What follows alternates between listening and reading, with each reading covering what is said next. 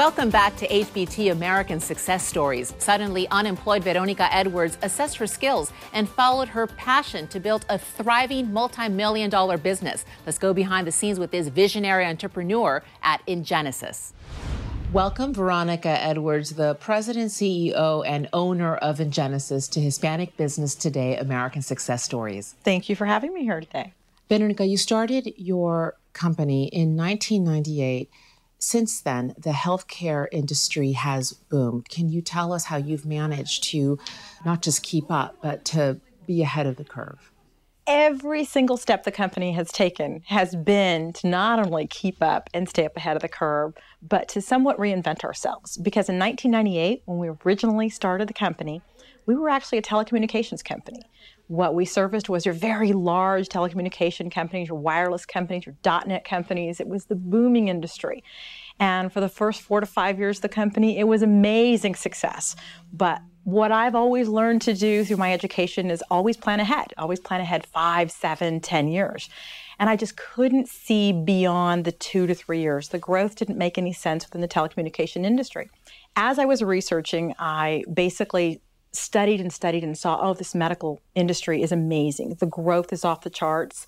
The opportunities to help improve healthcare, um, regardless of what your mark would be, are is it just grows by the day. And as I was going through and migrating a new division of Ingenesis, amazing luck that um, that we were down this path for about a year and telecommunication industry burst. So all of a sudden, five years into the company, I am absolutely starting all over from scratch in the medical industry, telecommunication industry. It was when the telecom bubble hit um, back in the um, uh, in, in the in the early late uh, 1990s, and so I literally migrated the entire company without knowing much about medical, other than I wanted to deliver fantastic customer service and, and medical care through our personnel. From creating a niche market not just once but twice in telecommunications and then transforming into and morphing into the healthcare world. What are your metrics as you benchmark success? We sit around in a room, basically myself and some of my senior managers, and we'll we will take an industry outlook. We'll look and see what is, what are the trends, what are, what is what are the different regulatory challenges that are coming out um, what are the what are the opportunities? Because regardless of what challenges we have in front of us whether it be financial challenges or whether it be the economy there's there just has to be. I will find it if it's not so obvious. There has to be a uh, a light a path to find the growth. And that's what we've been so markedly successful at. We really do study the regulatory and the compliance and um, the changing environment. And as opposed to looking at all the negative and just having that pull us down, we are continually looking for the opportunity. Where is that opportunity? And we will find it. Can you reveal to us some of your, I guess, best practices, tips, secrets on how you manage to not just grow, but to sustain that growth. It truly is um, just tenacity and persistence that I just knew that the more I did, the better I serviced my clients, um, the more diversified I became, the business grew. And uh, it really is one of those uh, one of those success stories that comes with taking care of everybody. Word got out. Um, our past performances was really were really strong. I will tell you that everything that I've gained up to three years ago, the entire size of the company three years ago, I've lost and had to make up for that threefold because technology changes, the environment changes. So at no point in time did the growth of the business continue exponentially year over year over year. We have to be successful almost threefold the rate as as the losses that we're gaining behind us. But I've really never let any of the negative affect the company. Veronica, what is the impact of Hispanic business on your business in your community and as you view it in the country? I think the biggest impact that I think that um, has affected Ingenesis is that as a Hispanic owned company, we have emerged as a somewhat of a beacon of hope, a beacon, an example of what other companies maybe can be or can aspire to. I've never stopped to say, look at all the obstacles that are ahead of me or that I'm having to experience because of any given reason. I've always looked at the environment and competed and acted as if I was a big company the first fiscal goal that I had was to exceed a million dollars as far as revenues go for the company. Those goals were years ago, and um, we were fortunate enough that at the end of last year, we finished up our fiscal year at a little over $52 million, and this year we're in excess of that. So if you want to be recognized as, and you want to emerge as a large, respected company, everything you do has to have that same flavor, that same philosophy in the business practices on a daily basis. Tenacity at its best.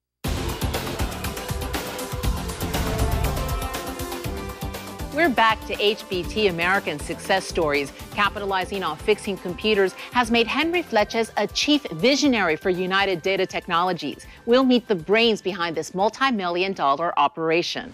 Henry Fleches, CEO, co founder, and president of United Data Technologies. Thank you for speaking with Hispanic Business Today American Success Stories. My pleasure. You worked in 90, had about nine months of experience in IT.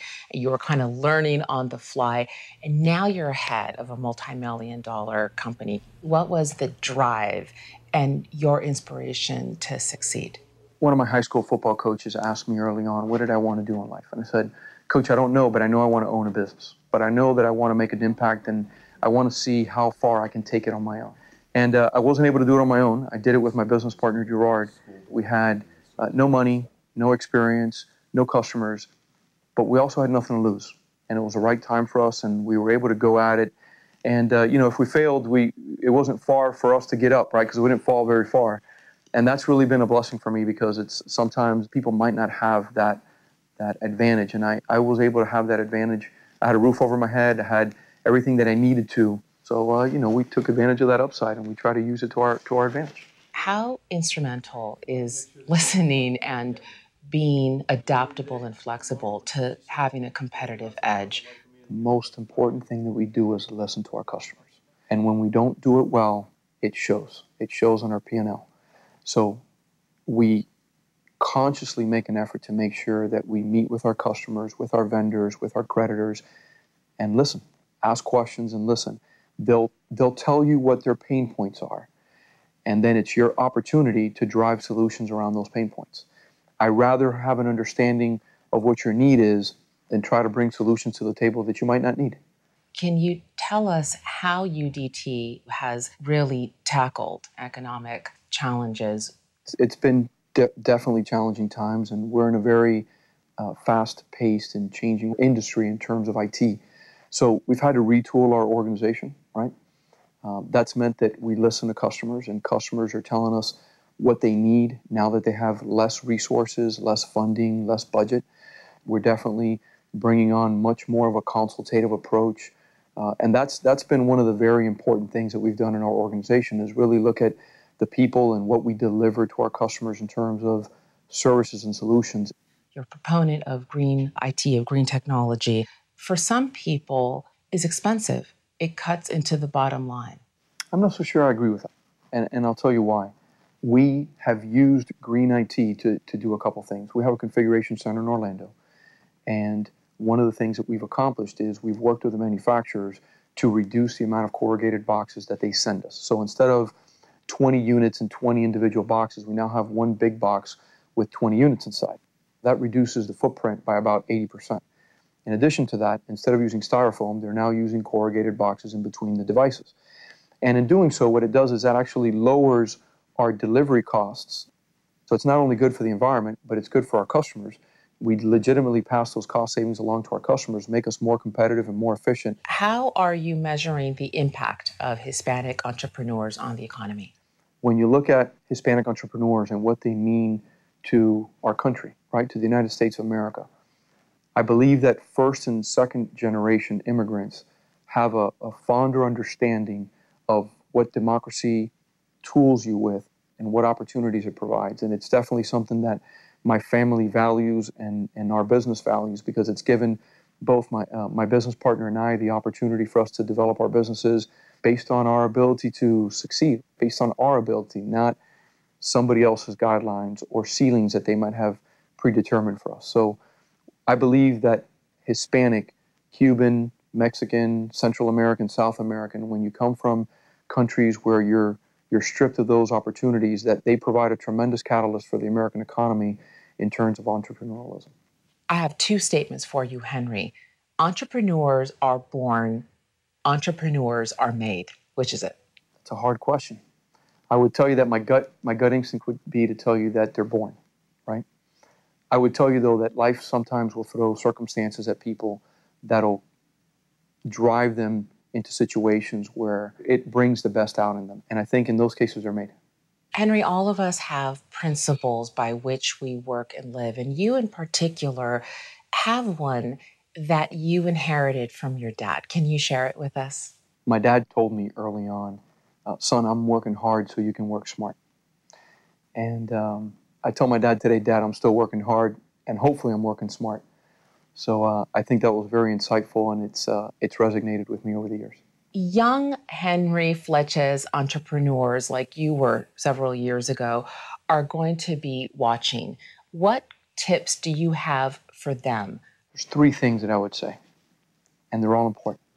Number one is you have to be fearless. The second thing is we have a God given instinct. You got to listen to your gut and do what makes sense, use common sense. And the third thing would be and I know that this is near and dear to our organization, is do the right thing and then do things right.